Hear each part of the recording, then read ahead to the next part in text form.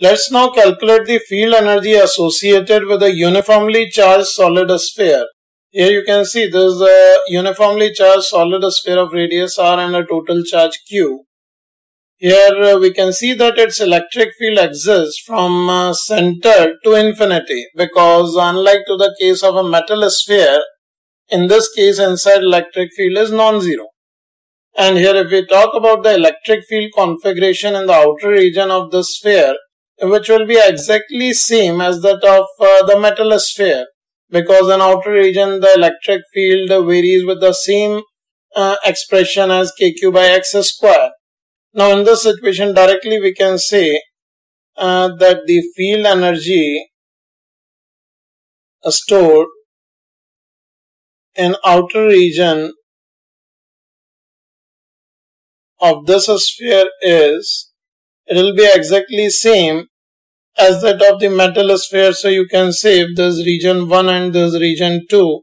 then field energy stored in region 1 can directly be written as kq square by 2r which is the total field energy in the surrounding of a charged metal sphere. But unlike to this, that case here inside the sphere also will have some electric field. So there exists some field energy inside also which we can calculate and now we can say in uh, uh, region 2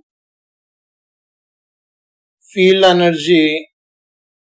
can be written as can be given as this field energy in the region 2 we can write as half epsilon naught E square multiplied by 4 pi x square dx which is integrated from 0 to r. In this situation I have taken a an elemental shell of width dx and of radius x inside the sphere within the region 2 and within this if electric field is taken as E inside then the field energy density can be written as uh, half epsilon naught E square will multiply it with the volume of shell we integrated from 0 to r.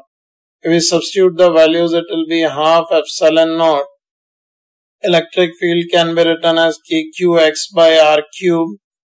whole square multiplied by 4 pi x square dx. And in the situation further if we simplify this expression here you can see it will be 1 k gets cancelled out with this 4 pi epsilon naught. So out of the sign of integration we are having the constant as kq square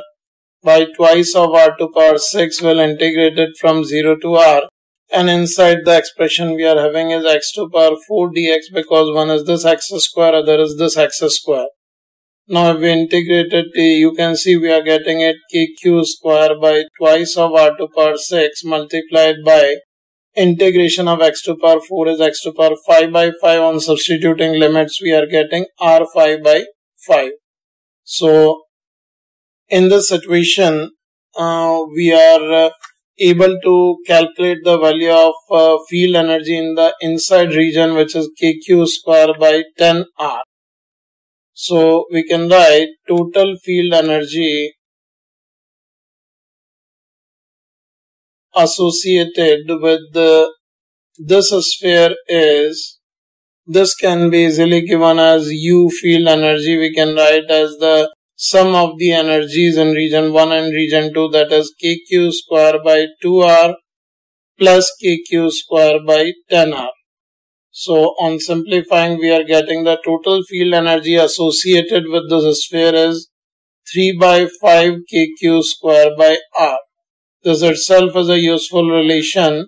So just keep this result in your mind